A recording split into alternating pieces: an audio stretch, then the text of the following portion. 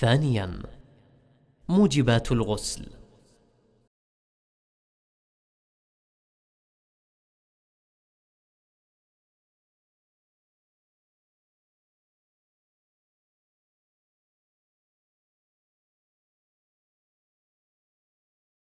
على المؤمن أن يغتسل قبل الصلاة وقبل أن يتوضأ إذا قام بأحد تلك الأمور أو أكثر وتسمى موجبات الغسل.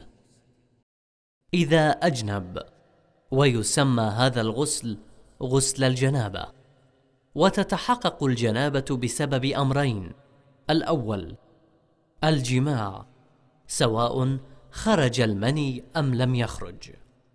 الثاني خروج المني وارتخاء البدن بعد خروجه سواء في النوم الاحتلام أو اليقظة. إذا لامس المؤمن جسد الميت الذي برد جسمه قبل أن يغسل الميت ويسمى هذا الغسل غسل مس الميت. إذا حاضت المرأة والحيض هو أحد الدماء التي تخرج من المرأة ويسمى هذا الغسل غسل الحيض. النفاس للمرأة وهو خروج دم لفترة بعد الولادة أو سقوط الطفل ويسمى هذا الغسل غسل النفاس.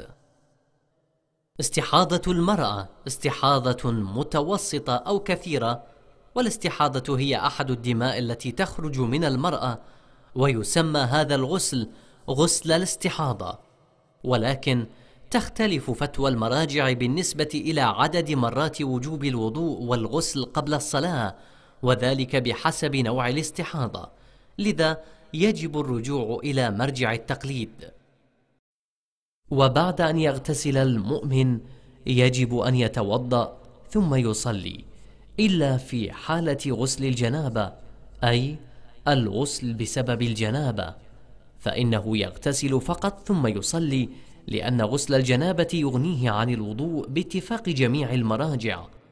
أما باقي الأغسال فهناك اختلاف في الحكم بين المراجع بين وجوب التوضؤ بعدها أم لا. وللمزيد من المعلومات يجب الرجوع إلى مرجع التقليد. أحكام من وجبت عليه أغسال عدة. مثلا جامع امرأته ولم يغتسل. ثم احتلم. ثم لمس ميتا جسده بارد. فإنه يجوز له أن يغتسل مرة واحدة بنية الجميع. قد تختلف مسميات الغسل ولكن الأغسال كلها بنفس الطريقة. وهناك طريقتان للغسل. الغسل الترتيبي الغسل الارتماسي.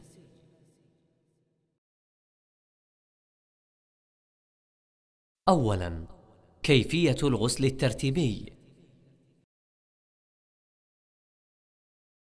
قبل أن تبدأ الغسل الترتيبي يجب أن تعلم لأي سبب تغتسل مثلا بسبب الجنابة أو مس جسد الميت أو كليهما ولا حاجة لذكر النية شفويا فقد تكتفي المعرفة بسبب الغسل.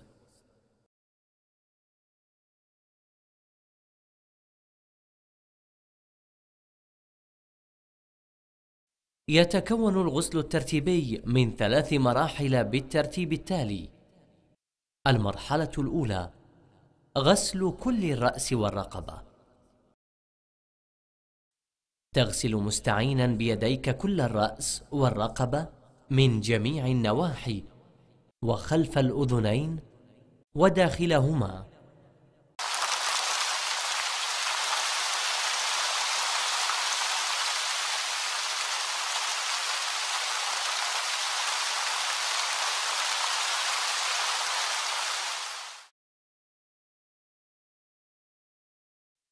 المرحلة الثانية. غسل كل الجانب الأيمن. تغسل مستعينا بيديك كل الجانب الأيمن من جميع النواحي من الأمام ومن الخلف من الكتف إلى آخر القدم مع أسفل القدم وبين الأصابع. ولا بأس إذا أصاب الماء الجانب الأيسر.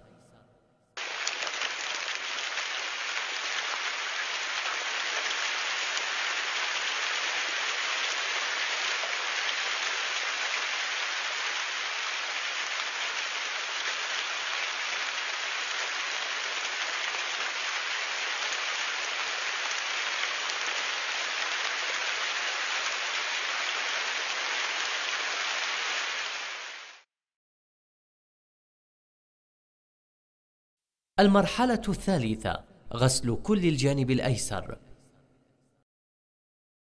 ثم تغسل مستعينا بيديك كل الجانب الأيسر من جميع النواحي من الأمام ومن الخلف من الكتف إلى آخر القدم مع أسفل القدم وبين الأصابع. ولا بأس إذا أصاب الماء الجانب الأيمن.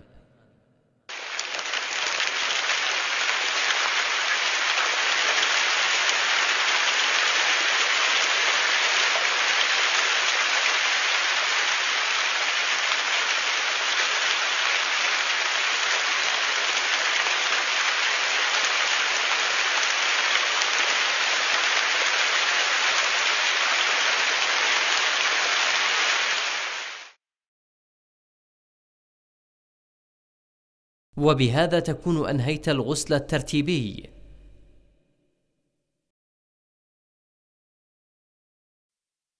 ثانيا كيفية الغسل الارتماسي؟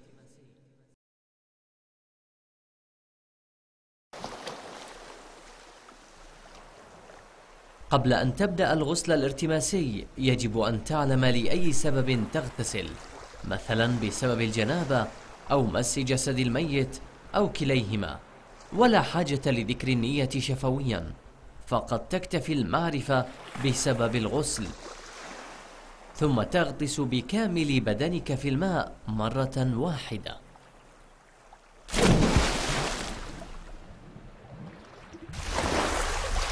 وبهذا تكون أنهيت الغسل الارتماسي